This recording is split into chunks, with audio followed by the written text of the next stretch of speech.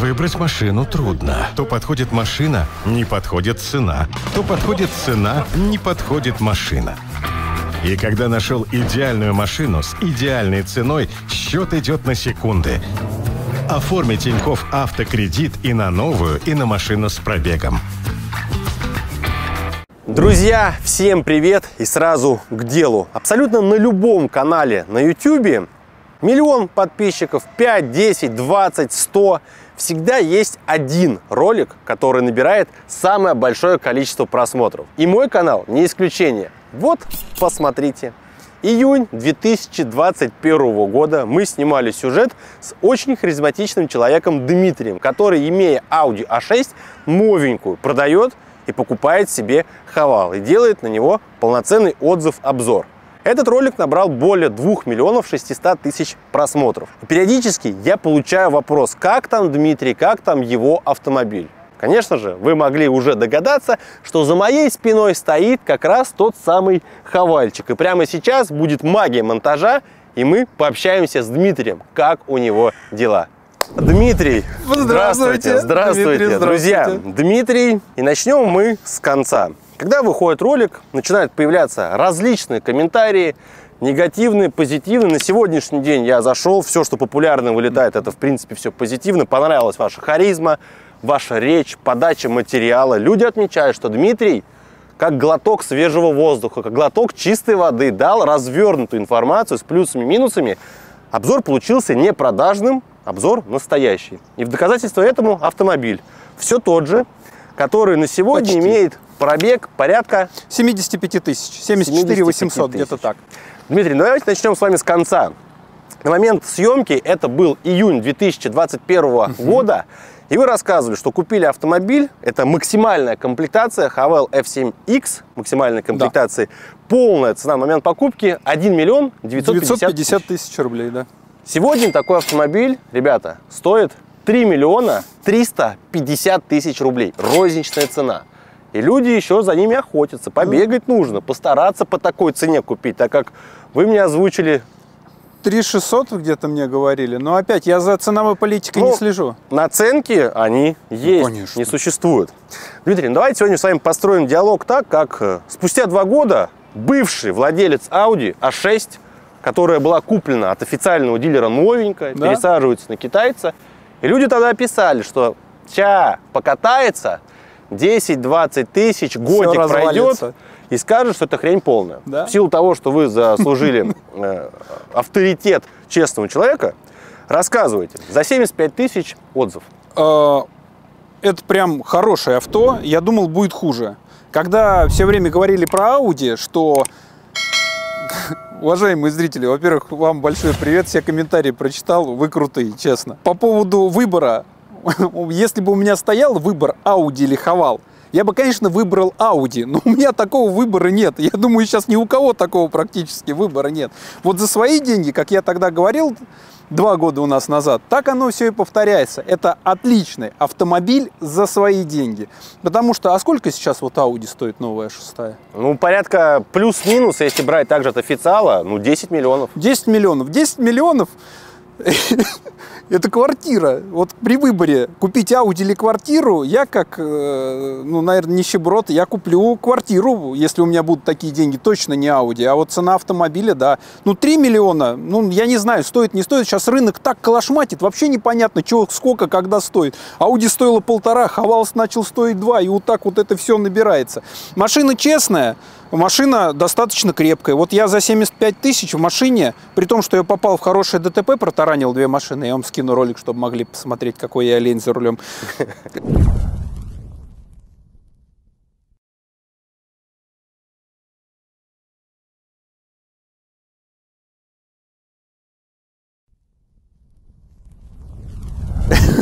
Поэтому вот решетка радиатора, видите, у меня теперь Как красивая. Infinity, как Infinity. Я сразу обратил внимание, когда вы заехали, такая морда стала более агрессивная. Агрессивная, да. Я думаю, Дмитрий, наверное, омолодился чуть-чуть, а нет, расхреначил. Нет, расхреначил все.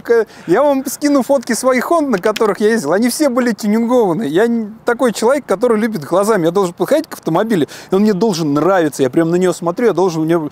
И вот эта решетка мне показалась красивой, потому что цена оригинальной решетки, вот эта, э, для тех, кто не знает насчет, как отличить комплектацию максимально от немаксимальной, как у всех машин, у BMW там здесь хром, здесь, то здесь решетка в максимальной комплектации, она такая серебряная. А у других просто черная. И вот эта серебряная решетка оригинальная, она стоит 27. А тюнингованная, ну, там что-то 18-19. Я подумал, ну нафига мне такая же. А решетка была расколота. Ну вот отсюда и вопрос. Вот отличная ситуация. Разбили машину, это плохо. Но столкнулись зато с вопросом покупки запчастей. Да. Кузовщины. Да. Какая реально? Когда разбили машину? А, разбил я ее ноябрь, а вот год, сейчас у нас 23 значит, это был 21 Через полгода я ее расколотил, а, официалом загнал, про официал я отдельно скажу, они буки-бяки, я к ним больше не езжу. А, в ноябре расколотил, а делал ее летом. Не было денег, я ипотечник с двумя детьми, тяжеловато было за нал почили- починиться. Запчасти. Бампер 9 тысяч рублей. Вот бампер 9 тысяч рублей. Вообще цены такие, помните хоть где-то? Я для отсылки сделаю, вот коллега попала в ДТП Kia.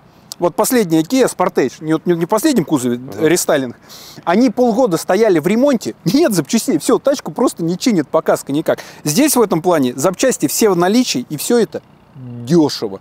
Очень дешево, ну, по сравнению с конкурентами. Ну и сколько в итоге вам обошелся ремонт автомобиля? 90 тысяч рублей. Это выровняли капот, было замятие, поменяли один из радиаторов, поменяли полностью бампер, поменяли решетку с работой, с покраской, с запчастями 90 тысяч рублей. За ваш счет, правильно? За Кас- мой счет. Я, я виновник ДТП, каски А. у меня тотал угон на машине, что если она полностью в узел или угонят, то мне возместят. Кстати, насчет тотал угона. Приношу сразу извинения зрителей. Я пересматривал ролик, и э, там говорили по поводу... по- помните, я вам говорил, полная стоимость каска. Я говорил, 21 тысяча. Эта каска была на Audi. Я перепутал цены. На эту машину каска была порядка 40 тысяч рублей. Поэтому прошу извинения, не специально вел заблуждение. Вот так вот, да, цены меняются. Когда ты на, на Audi каска была 21 тысячу, Ну, тотал угон. Тотал, ну, всё равно да. 21 тысяча, Да, каска на год, Audi. да. А сейчас наховал 40 тысяч, ну, когда вы А, нет, это была кас- каска там с франчо и прочее. А сейчас у меня каска, я сейчас посмотрю цены, вам пришлю, по-моему, 22 или 23 тысячи у меня тотал Ну, напишите, я выведу на экран. Да, а, чтобы понимание. И об- да и вообще страховка на нее дешевая. И ремонт на нее дешевый. Но у меня страховая выплата по автомобилю, просто вдумайтесь, 2 800. Вот если у меня машину завтра угонит, мне налик дадут 2 800, а я Был- купил было за бы миллион даже 950. неплохо, да, если проснулся. а Нет, ну я люблю, ну чё, Нет? на прям часть семьи, как, как я могу Дмитрий, ну продать? давайте поэтапно идти дальше. Смотрите, спустя два года, как вы ездите на автомобиле с момента съемки ролика, наи- накатали такой километраж, отзыв в целом за машину. Что о ней скажете?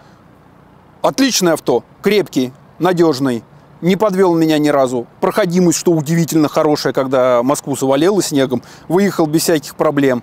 А, Коробки привык, к движку привык, А, просторность нормально. Это хорошее авто. Это машина, которая стоит своих денег. Причем, заметьте, когда мы два года назад смотрели, мы такие, хавал, что это за фигня? Это как сразу воспоминание 20 лет назад, 2000 год. Пришел Hyundai Tucson, вот эти машины по Москве появились. И говорили, это кто, кореец? Нет, ну я понимаю, японец или немец. А, это... а сейчас то же самое говорят про китайские авто. А посмотрите сейчас вокруг спустя два года. Сколько этих хавалов. У них модели вот так вот вылетают. На них ездят. Тут отзывы. Тут вот я недавно смотрел э, и для себя много нового открыл. Ильдар Автоподбор, да. автоподбор. Он снял офигенный ролик вот с такой доказательной базой. Время пролетело на ура. Кто не смотрел и хочет почитать про хавалы, всем рекомендую. Я сам для себя узнал, что, оказывается, у меня есть ваговский движок, коробка там и так далее. Вот там рассказывали, что убрали, по-моему, двигатель Ген 2 называется, который ваговский, все ваговые ее знают, что они его доработ, китайцы доработали немецкий двигатель, убрав детские болячки. Ну, сюр какой-то. Но, тем не менее, такая сегодня у нас реальность. Мы все прекрасно видим, что немцы, они уходят. Ауди, допустим, я зашел на сайт Ауди, а там русского языка нет. Мне так обидно, блин, стало. Я покупал, я кайфовал от этой марки, а она со мной вот так. Так они еще мало того, что они уходят, они сейчас все эти программное обеспечение обрывают. Да, Вы я уже, слышал, думаю, все слышал. слышали прекрасные новости. Audi, Mercedes, BMW. Вот что-то сломается, у тебя с машины там кондиционер неисправно, фару прописать надо. Сейчас уже все. Как бы люди там скачивают, придумывают. Ну, короче, становится геморрой. А это, видите, друзья, вот вы скажете, реклама. Вот человек, частник, отдал свои деньги. Покупать, не покупать, дело десятое. Но дальше я хочу с вами поговорить про косяки, с которыми вы столкнулись, возможно, были гарантийные обращения, что-то сломалось, что-то некорректно работало. Но прежде чем мы к этому перейдем, у нас есть коротенький спонсор выпуска, который вам передал подарок. И прямо сейчас я его принесу. Я уже сбегал, и это, ребята, Карсис, толщиномер для автоподбора профессиональная вещь в силу того, что вы вашу машинку Бил. немножко били. С помощью этого прибора вы можете как минимум осмотреть весь ваш кузов на предмет оцинковки. И это очень круто, потому что у ребят раньше была вот такая версия, она существует. Она попроще. А вот эта версия, которая в руках уже у Дмитрия, это профессиональный прибор. А, Мало того, что можно писать оцинковку, можно проверить автомобиль на предмет а, магнитной шпаклевки. У него есть датчики различные, у него есть фонарик. Он, в принципе, работает из коробки, но там для калибровки все есть. Вещь реально крутая. Вот я смотрю, многие автоподборщики, кто прям профессионально машинами занимаются, используют именно Корсис автоподбор. Так более того, эта вещь разработана на территории нашей страны. Ребята делают ее в Омске, это действительно их наработка, они постоянно стараются его дорабатывать, усовершенствовать, ну вот в виде вот продвинутой версии сейчас. Гарантия на него пожизненная, поэтому пользуйтесь на здоровье. Ссылочку оставим в описании, мало ли кому-то интересно почитать подробнее или заказать себе, пожалуйста. Косяки. Всегда людям интересны именно косяки. Ну не существует автомобиля, который бы был бы исправен прям на все 100%. Все равно появляются то какие-то скрипы, от которых очень сложно избавиться, но потом на форумах выясняется, что надо проклеить. Там на японцев, в том числе, друзья, вы помните прекрасно, Mazda 6 у меня была там, то зеркала у кого-то не складывались. Короче, короче что-то да всплывает. Что с этой машиной? Удивительно ничего. У меня даже не скрипит ничего. У меня в Ауди начало скрипеть. Но в Ауди начало скрипеть, потому что рукожопики залезли и вставили туда сигналку официальные дилеры. Здесь, кстати, тоже автозапуск стоит. Только я не поехал к официалам, которые ставят его раз в полгода. Я поехал к официалам... э, Сертифицированный да, сервис. Заехал, поставил, все, сигналка работает отлично, без всяких сбоев и прочее. Натурально, ничего не скрипит, ничего не гремит, что удивительно, потому что в ЦРВ это гремело. В Ауди тоже начинали появляться скрипы. А других новых автомобилей у меня не было. Ну, нет, в плане езды вообще все хорошо. То есть вот он как ездил новым, и сейчас, да, есть проблема с коробкой, ко- про которую всё- тупит. Тупит. при, при да? резке, да, при резком разгоне она иногда не понимает, что надо дать газу. Иногда э, скорость не ту поставит. Спасибо большое подписчикам Дмитрия Машкова. Вы мне объяснили, что Дима, ты купил машину 190 лошадей. Нафига ты ездишь в эко-режиме? Включи спорт, кайфани. Она в спорте вообще по-другому рулится. Ну И да, вот этой вальяжности, ру- именно рулевой колеса, она ушла. Тормоза стали лучше тормозит. Не знаю, как это работает. Я лично не знал. Спасибо подписчикам, просветили.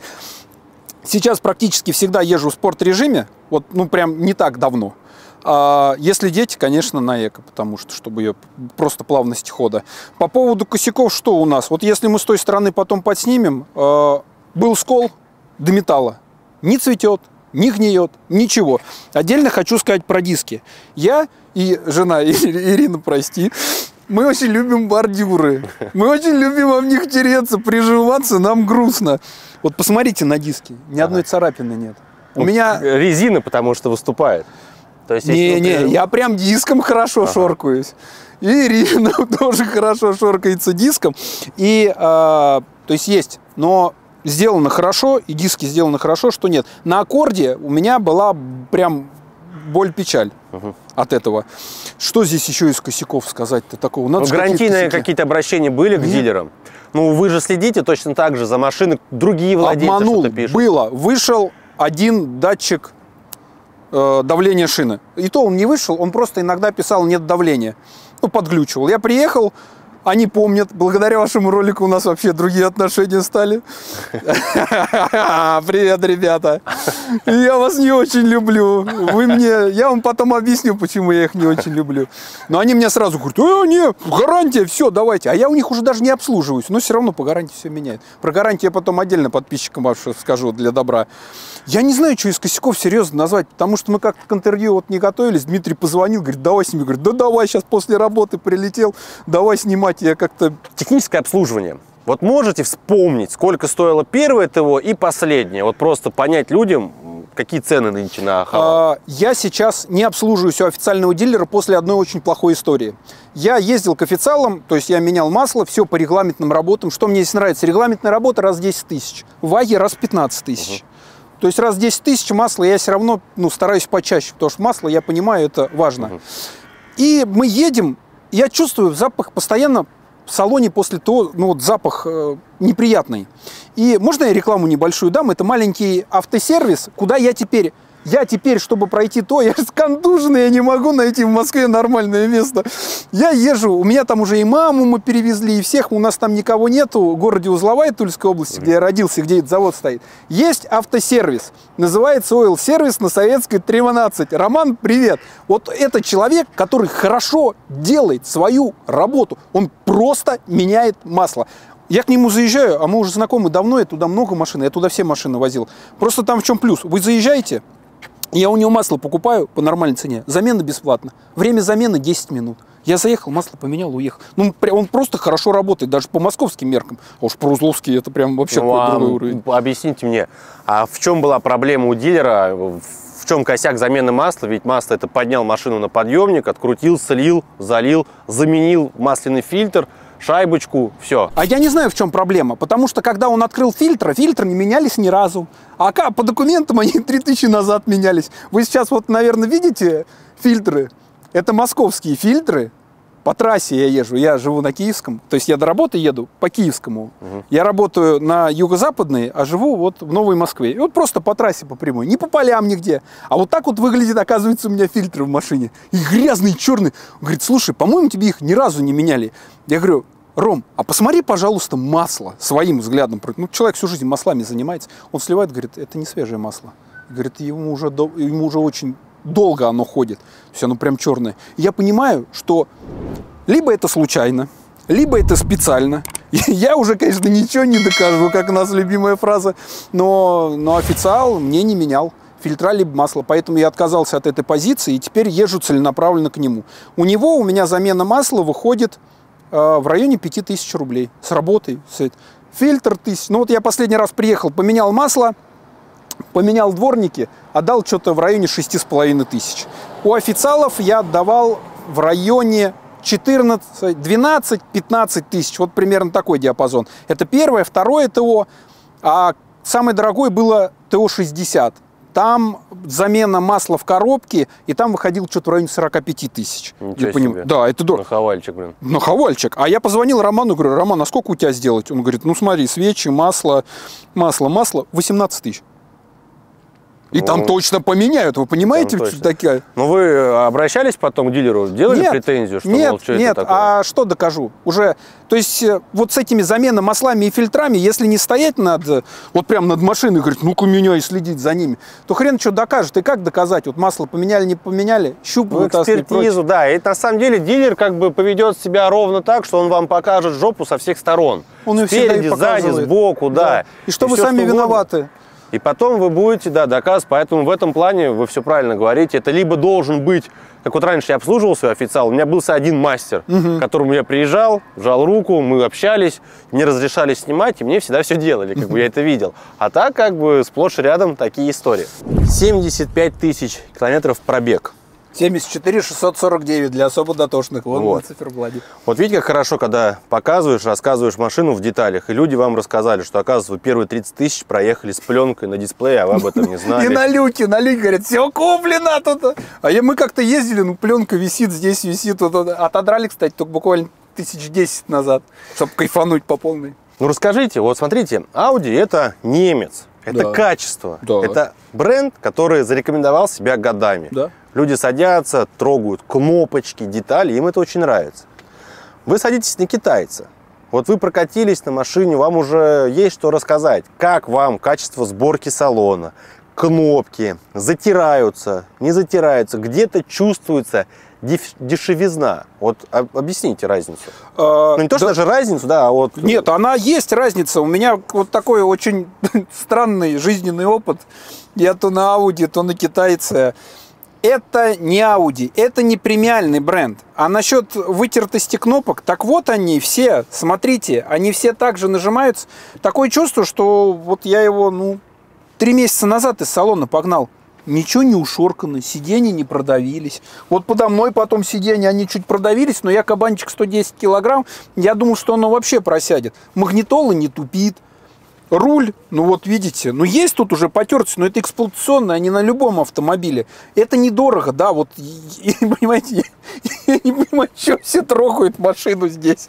Ну, я ее не трогаю, но может один раз, когда вот здесь потрогал, там мягко, не мягко, или вот как нажатие кнопок, э, или как вот это все обстоит. Это нормально. Это стоит своих... Это за свои деньги нормально. Это не люкс, это не премиум, там что все вот так. Я понимаю, про что люди говорят. Ну, разные люди есть. Кого-то прям реально прет вот от этой эстетики, как кнопка назад. Я не из этих людей, поэтому мне все равно. Она для меня надо, чтобы она работала. Она работает. Оно ничего здесь не сломалось, не это. Как видите, здесь ничего не вытерлось, не облезло. Хотя я переживал. Мне лично я был уверен, что она к 100 тысячам подустанет немножечко. А она не устала пока. Ну, посмотрим, что будет еще через 100 тысяч. Потому что денег на новую у меня нет. Ну, расскажите, смотрите, э, первое, расход топлива, реальные цифры, какие наблюдаете? И каким бензином заправляете машину? А, заправляю 95-м Экто, только на Луколе, на одном рядом с домом на юго-западной. А, иногда заливаю сотку, когда премию на работе дадут. А, расход, ну, где-то 12 литров. В городе? Ну, у меня, понимаете, у меня до города езда по трассе. То есть я живу 23 километра за МКАД. А работа находится 2 километра внутри МКАД. То есть я заехал и прям работа. Получается сказать, что по городу нельзя, а, потому что пробег больше трассовый. Но это вот средний 12-12,5, потому что иногда я в центр поеду, иногда так по городу, прочее. Это в спорт-режиме. В спорт-режиме она жрет меньше, прикиньте. Я вот удивился. Слушайте, ну трассовый расход какой назовете? 10 с половиной 11. Угу. Ну вот э, не сжигания, спокойно, без обгонения. Но опять трасса какая? Можно ехать по М2, М4, где просто вот так вот выставил э, круиз-контроль и катишься. А можно ехать по какой-нибудь пригородной трассе, допустим, Тула-Узловая, где одна полоса туда, одна обратно. И там будет уже расход совершенно другой. Поэтому понять трасса какая. Ну, вилку мы поняли. Да. Смотрите, была зима, вы сделали акцент, что зимой, когда наваливало снега, вообще проблем нету, кайфовали, да. полный привод. Ауди у вас была с передним еще приводом. Ауди было с передним приводом, и я прям помню, одна, э, у меня у сестры Мерседес полноприводный был на тот момент. И я помню, нам надо ехать по делам в Тулу. Я выезжаю с утра снегопад 5 утра. И я еду, заезжаю за ней. Я понимаю, у меня прям аудюху носят. Мы садимся в ее Мерседес. Он как вот этот просто полный привод. И все, поехал. Вообще никаких проблем. И здесь то же самое. Привод отработал. Ну, у меня особого опыта-то нет. У меня была CRV на полном приводе. И вот эта машина. Эта машина по всем параметрам, лично для меня, лучше CRV 2014 года. По всем параметрам. Причем это не только мое мнение, но и мнение моей жены. Хотя, как сказал Ильдар в подборе, что у него ходовка стоит вот именно от этой ЦРВ. Привод для понимания у меня снегом машину завалила, ну, наверное, вот так. Я открыл дверь, завел, включил режим снег, нажал газ, она просто поехала без разбуксовки, без всего. А в этот день из двора выехал, ну, конечно же, прадик, эта тварь вообще откуда угодно выберется. И я, а больше не выехал никто, а там паркетников было много. То есть система полного привода, ну, если там, извините, никакие говны не лезть, там вот это вот по бездорожью, а я этим не страдаю, то больше, чем нужно. Я когда говорил фразу, я только после, когда сел заховал, понял, насколько хороша была Audi. Я столько фишек Audi не знал, ну, допустим, рециркуляции воздуха автоматической. Здесь вот я подъехал к шестерке вот с такими дисками, я, у нее бензин прям выкапывает. Этот бензин, запах здесь будет в машине, в Audi его не будет. Да, Audi тогда тех денег стоило, про сейчас не скажу. А здесь, ну, кнопки все работают. Нигде ничего не глючит. Камеры отображаются нормально. Когда в комментариях, опять же, ваших говорят, «А, или о, лиса рулит, она рассказывала. Ой, вы знаете, я посмотрела качество видеокамер очень плохое круговых обзоров. Да они тут есть, тут есть камера кругового обзора. У нас мы просто на разных уровнях. Я там внизу, и для меня просто само наличие, я в ней увижу дерево, там кота, стол, уже накладывает. Работает все исправно. Зеркала, вот у меня каждый раз, когда я закрываю, они у меня автоматически складываются. На Audi к третьему году начались проблемы с левым зеркалом. В мороз бывало, как попадала вода, не открывалась. Здесь такой проблемы ни разу, пока, пока не было. Ну вот с вентиляцией я сказал, а так Вроде все. Вот, знаете, я сейчас вам рассказываю и сам понимаю, а вроде все хорошо. Я так, вот когда каждый день там, на машине у тебя проблем, там ребенок, надо на прививку отвезти туда-сюда, ну не, не задумываешься, как она ездит. А вот сейчас вам рассказываю, сам понимаю, а она ничего такая. Напомню, у вас дочь Соня 7 лет и сын родился Данила Дмитриевич 2 года, правильно? Два года. 21 июля было два года. Да. Мужик, привет! Вот. Смотрите, э, детское кресло. Автомобиль таким со спортивным кузовом, скошенным. Соня, я понимаю, садится 7 лет, уже все, хорошо. Сын садится. Каково ездить на таком, скажем так, спортивном автомобиле по кузову с семьей? Нормально. Вмещаются все? Вмещаются все, и места здесь дофига. Ну, мужик, кстати, себя ведет на сиденье намного лучше, чем Соня, да, Соня? Кому мы вот это ногами шоркаем здесь постоянно по сиденьям? Поэтому здесь вот такие слюнявчики. Это, кстати, пережиток Ауди. Это я еще, видите, он, значок. Аудюшный. Это еще от Ауди сохранилось. С семьей передвигаться удобно, и у нас еще здесь бабушка помещается. Да, там, Мгм. конечно, надо... человек.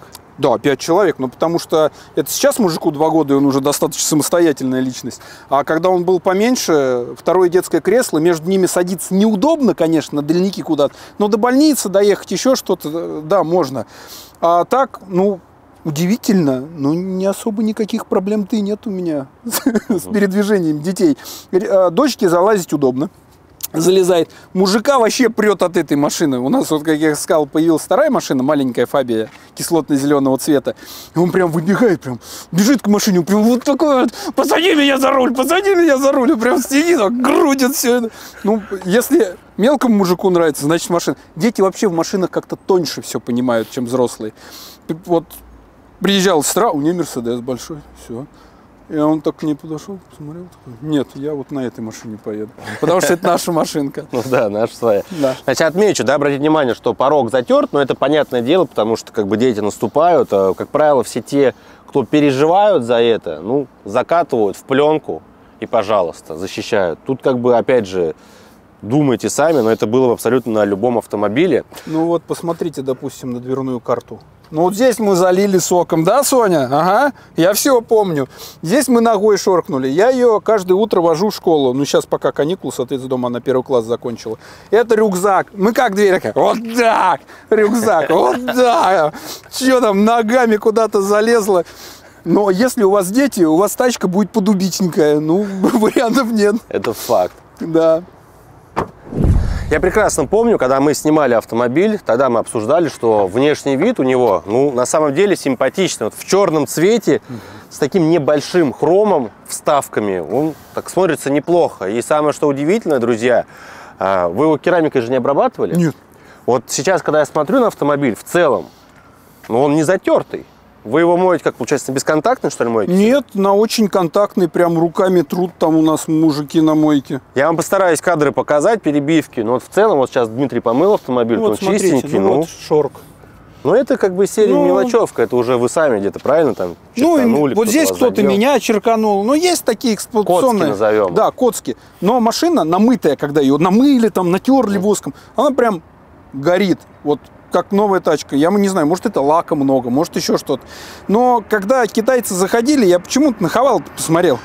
Они инвестировали в завод огромное количество денег. И если их первые автомобили будут некачественными, этот инвестиционный проект а я не думаю, что китайцы не умеют распоряжаться деньгами. Что, скорее всего, они сюда заложили в эти автомобили жизнестойкость и их ресурс больше, чем возможен, при этом пытаясь продвинуться по цене, чтобы потом, конечно же, на нас заработать, это все понятно. Но именно вот сейчас первые автомобили, я думаю, что они, ну, как показала практика, он достаточно крепкий. Полный привод, диодная оптика, круговой обзор и прочие-прочие фишки автомобиля. Но, возможно, есть что-то, чего вам не хватает. Вот вы поездили, такие думаете, блин, вот сюда бы еще вот это, вот это, вот это и идеал.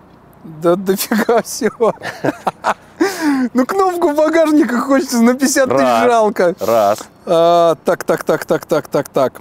Пока вспоминаете кнопку багажника, да, это как опция, ее можно доуснуть не только там, понятное дело, официал. 54 и на стороне стоила, я без узнавал. проблем. Блин, что дополнительно? Чтобы жрала поменьше, а разгонялась Но это побыстрее. уже не получится. Не- нет, почему? Получится. А, что? говорят, что проблема чисто в софте находится, Мгм. то есть с Ну, железками все хорошо.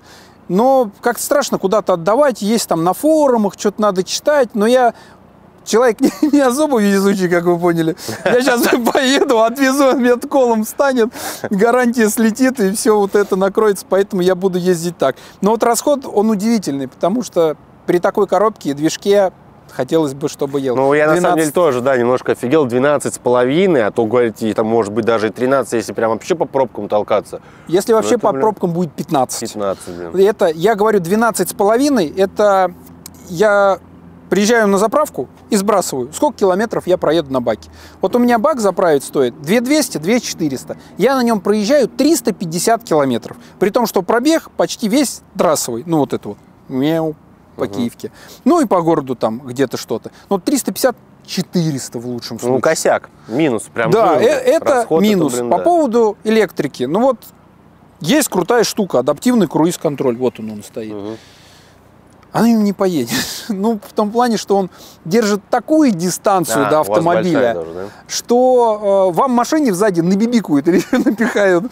Ну, как-то чувствуешь, что ведешь себя неправильно на дороге, приходится, ладно, я поеду.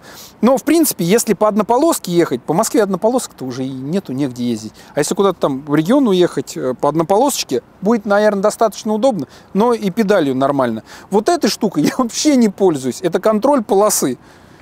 Э, Эта машина точно умнее меня.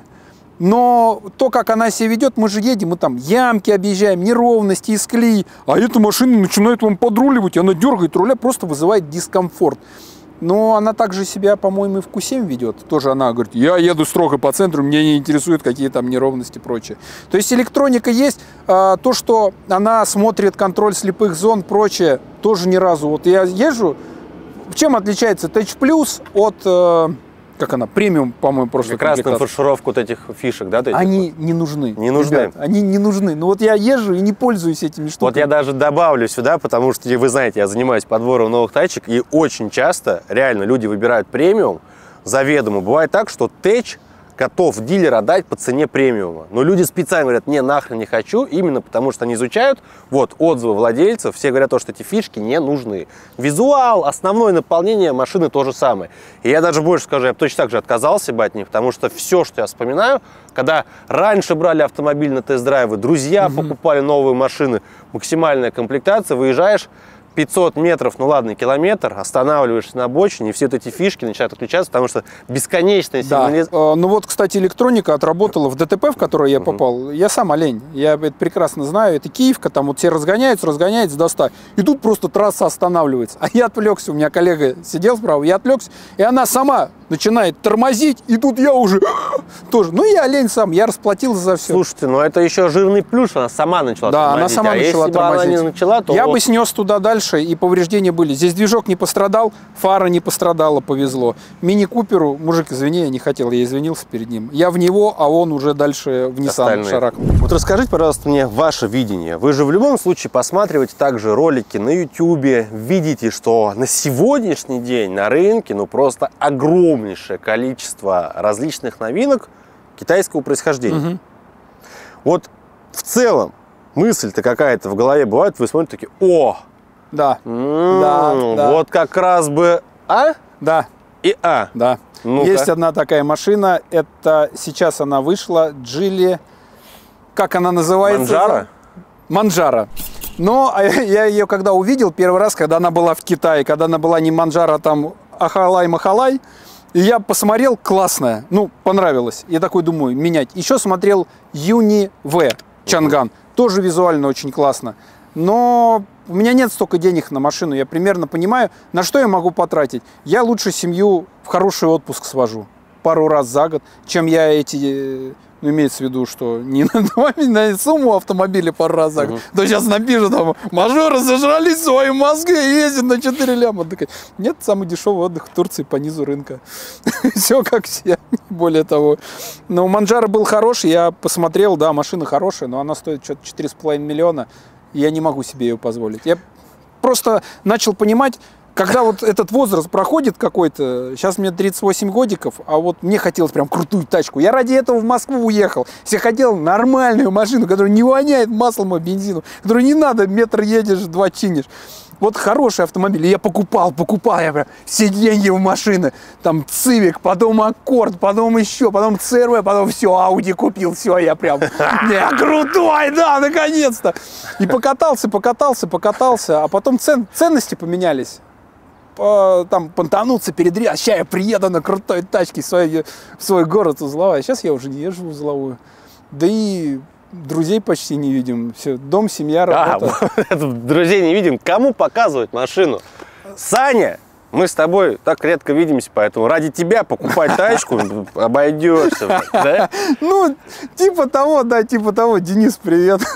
Тоже видимся, наверное, один раз за три года виделись. Ну, уже как-то так закрутилось. Слушайте, э, я сейчас задам вопрос, Да. а вы сами скажете, будете вы на него отвечать или не будете. Давайте. А, Вот смотрите, всегда людям интересно, кто чем занимается. А, Я знаю, где вы работаете, и просто когда люди услышат, я думаю, это... Ну, я уверен, то, что в вашу сторону это будет очередной лайк, респект. Расскажите, пожалуйста, текущее ваше место работы. Чем вы занимаетесь? Ох, неоднозначный вопрос. Я работаю в проекте госпитальных школ «Учим, знаем». Это школы в детских больницах. Сам я работаю в центре Дмитрия Рогачева. Это яркая больница, центр гематологии, онкологии, иммунологии.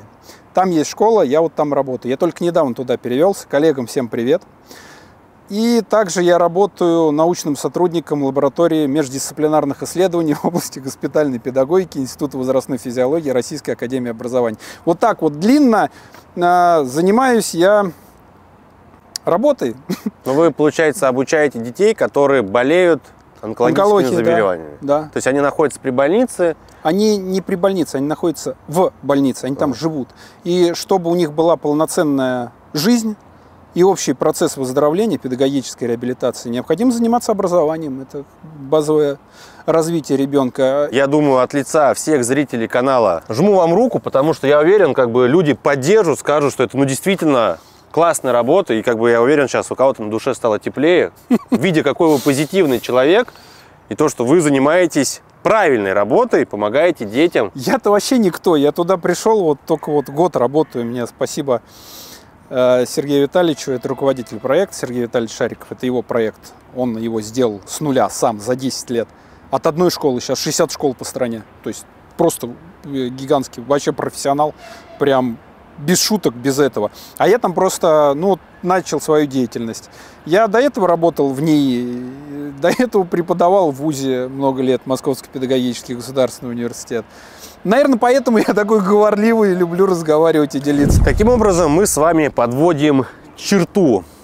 Давайте так, по пятибалльной шкале, вот общая оценка автомобилю спустя 75 тысяч пробега, чуть больше двух лет владения, по внешнему виду, по технической части, по наполнению, вот все-все-все, что вы владеете, вот давайте, вы учитель, по пятибалльной шкале сколько ставим? По пятибалльной шкале внешний вид пятерка. Мне машина нравится до сих пор. Как помните, может, в КВН кто смотрел сценка Салтыкова клевая из «Брата 2» до сих пор. И вот тачка клевая до сих пор. Ну, по внешнему виду это пятерка, мне нравится. По технической части. Если бы не расход безумный, была бы пятерка. А так 4 с плюсом, как отсюда и до моего дома. А, какие там еще критерии были? Вы Э, задавали? Интерьер, вообще наполнение, как бы внешний вид по интерьеру. Внутри, когда садитесь, э, фишки, Четыре, которые... есть, четыре, потому что тактильные ощущения, ну там руками, прочее, оно хорошее, но можно еще лучше, можно же лучше, поэтому это с заделом на будущее. Тоже крепкая четверка есть. Если вообще в целом по автомобилю 4 с плюсом, не дотянули по некоторым параметрам. А, Я очень, кстати, надеюсь, что в рестайлинге табачок сделали 5 литров и датчик вывели. Я надеюсь, они посмотрели ваш ролик и сказали, о, по плюсам лобовое. В Ауди сразу начали сколы, трещины, сколы, трещины. Вот смотри, но это, кстати, помененное лобовое. У меня первый год появился скол, вот такой малюсенький, но жабка-то душит. Узловские корни я свои помню. Жалко, блин, ка- за каску денег отвалил много. Ну, поехал по гарантии, поменял на оригинальное такое же. Стекло ждал аж целый месяц. потому что вот э, из-за каких так как максимальная комплектация у них стекла У вас, отличаются. получается, на первый год каска была полная. Да, да, обязательно. Ага. А Она, да, мы покупали полную каску, чтобы вот мы не можем, потому что машина покупалась в кредит, потому что нам надо было делать ремонт, мы купили голые стены. Ну, сейчас мы- в кредите еще? Или Да, еще в кредите. Сколько осталось платить? Два года. На пять лет мы брали. И сейчас осталось платить два года, так как покупали голые стены и считали ремонт. А те, кто делали ремонт, понимают, что сумма, которая была, а это был первый ремонт в нашей жизни, то мы там посчитали, допустим, это выйдет миллион, а это вышло 4, то есть там суммы просто моментальные. И экономили на всем, брали везде денег, и нам очень родители помогли, и родители жены, и моя мама, и сестра, то есть всем миром собирали, как эти, чтобы вот просто... Вот, заехали. друзья, вот они реалии, поэтому когда кто-то захочет написать комментарий серии что вы этих китайцев там рекламируете, мы живем здесь и сейчас в реалиях. Да. Хотел бы Дмитрий себе иметь вместо Хавал F7X Audi Q7 за 2 миллиона или за 3? Конечно, Очень да. хотел.